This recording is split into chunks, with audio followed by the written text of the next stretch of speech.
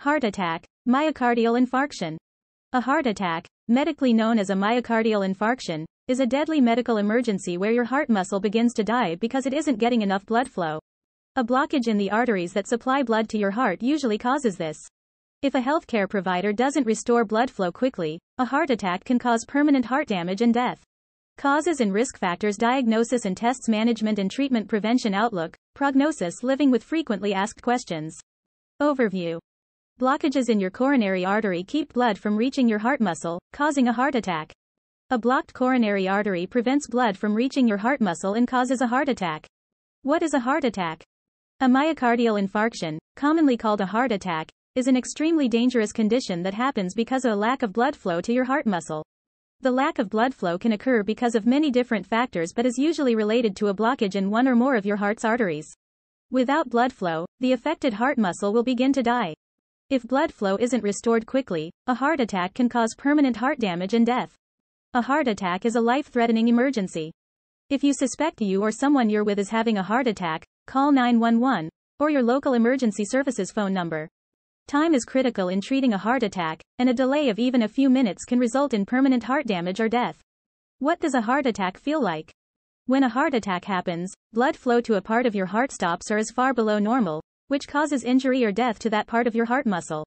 When a part of your heart can't pump because it's dying from lack of blood flow, it can disrupt the pumping sequence for your entire heart. That reduces or even stops blood flow to the rest of your body, which can be deadly if it isn't corrected quickly. What are the symptoms of a heart attack? Heart attacks can have a number of symptoms, some of which are more common than others. Men and people assigned male at birth, AMAB, are likely to have different heart attack symptoms than women and people assigned female at birth, AFAB. Symptoms of a heart attack that people describe most often include chest pain, angina. This can be mild and feel like discomfort or heaviness, or it can be severe and feel like crushing pain. It may start in your chest and spread, or radiate, to other areas like your left arm, or both arms, shoulder, neck, jaw, back or down toward your waist. Shortness of breath or trouble breathing. Fatigue trouble sleeping, insomnia, nausea or stomach discomfort. Heart attacks can often be mistaken for indigestion or heartburn. Heart palpitations. Anxiety or a feeling of impending doom. Sweating. Feeling lightheaded, dizzy or passing out. Heart attack symptoms in women and people AFAB. Medical research in recent years has shown that women and people AFAB are less likely to have chest pain or discomfort that feels like indigestion. They're more likely to have shortness of breath, fatigue and insomnia that started before the heart attack. They also have nausea and vomiting or pain in the back, shoulders, neck, arms or abdomen. Cleveland Clinic is a non-profit academic medical center. Advertising on our site helps support our mission. We do not endorse non-Cleveland Clinic products or services. Policy. Causes and risk factors. What causes a heart attack? The vast majority of heart attacks occur because of a blockage in one of the blood vessels that supplies your heart.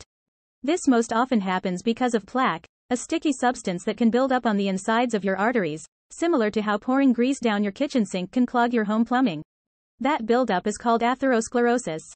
Sometimes, plaque deposits inside the coronary, heart, arteries can break open or rupture, and a blood clot can get stuck where the rupture happened. If the clot blocks the artery, this can deprive the heart muscle of blood and cause a heart attack. Heart attacks are possible without a blockage, but this is rare and only accounts for about 5% of all heart attacks. This kind of heart attack can occur for the following reasons. Coronary artery spasm. Rare medical conditions. An example of this would be any disease that causes unusual narrowing of blood vessels. Trauma. This includes tears or ruptures in the coronary arteries. Obstruction that came from somewhere else in your body, a blood clot or air bubble. Embolism. That gets trapped in a coronary artery. Electrolyte imbalance. Eating disorders. Over time, these can damage your heart and ultimately result in a heart attack. Takotsubo or stress cardiomyopathy. Anomalous coronary arteries, a congenital heart defect you're born with where the coronary arteries are in different positions than normal in your body. Compression of these causes a heart attack. Who is most at risk for a heart attack? Several key factors affect your risk of having a heart attack. Unfortunately, some of these heart attack risk factors aren't things you can control. Heart attack risk factor. Age and sex. Why it's a risk factor. Your risk of heart attack increases as you get older. Your sex influences when your risk of a heart attack starts to increase. Details. Men and people AMAB. The risk of heart attack increases greatly at age 45. Women and people AFAB. The risk of heart attack increases greatly at age 50 or after menopause. Family history of heart disease. Why it's a risk factor. If you have a parent or sibling with a history of heart disease or heart attack, especially at a younger age, your risk is even greater because your genetics are similar to theirs. Details. Your risk increases if your father or a brother received a heart disease diagnosis at age 55 or younger. Your mother or a sister received a heart disease diagnosis at age 65 or younger. Lifestyle. Why it's a risk factor. Lifestyle choices you make that aren't good for your heart can increase your risk of having a heart attack. Details. These increase your risk of heart attack. Lack of physical activity. A diet high in sodium, sugar and fat. Smoking or tobacco use, including smokeless or chewing tobacco and vaping. Drinking too much alcohol. Drug use, especially in younger people. Certain health conditions or diseases. Why it's a risk factor. Some health conditions put stress on your heart. Details. Having these health conditions can increase your risk of heart attack. Diabetes. Obesity. High blood pressure, hypertension. High cholesterol, hyperlipidemia. History of preeclampsia during pregnancy. Eating disorders, especially in younger people. Diagnosis and tests. How are heart attacks diagnosed? Healthcare providers usually diagnose heart attacks in an emergency room setting. Anyone with heart attack symptoms should undergo a physical examination, including checking pulse, blood oxygen levels and blood pressure and listening to heart and lung sounds.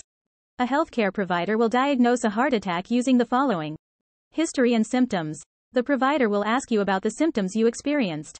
They might also ask someone who was with you to describe what happened. Blood tests. During a heart attack, the damage to heart muscle cells almost always causes a chemical marker, a cardiac troponin, to appear in your bloodstream. Blood tests that look for that marker are among the most reliable methods to diagnose a heart attack. Electrocardiogram, EKG or ECG. This is one of the first tests you get when you come to an ER with heart attack symptoms. Echocardiogram. Using ultrasound, high-frequency sound waves, an echocardiogram generates a picture of the inside and outside of your heart. Angiogram. This test shows areas with little or no blood flow. Heart computed tomography, CORT, scan. This creates a highly detailed scan of your heart. Heart MRI. This test uses a powerful magnetic field in computer processing to create an image of your heart. Nuclear heart scans. Similar to angiography, these scans use a radioactive dye injected into your blood. What sets them apart from an angiogram is that they use computer-enhanced methods like computed tomography, CORT, or positron emission tomography, PET, scans. Management and treatment. How are heart attacks treated? Treating a heart attack means restoring blood flow to the affected heart muscle as soon as possible. This can happen in a variety of ways, ranging from medication to surgery. It's extremely likely that treatment will use several of the following methods.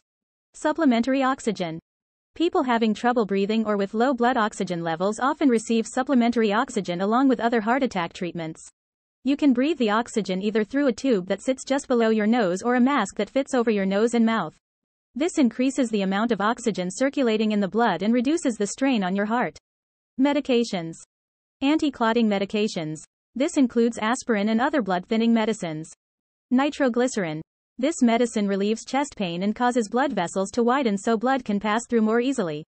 Thanks for watching.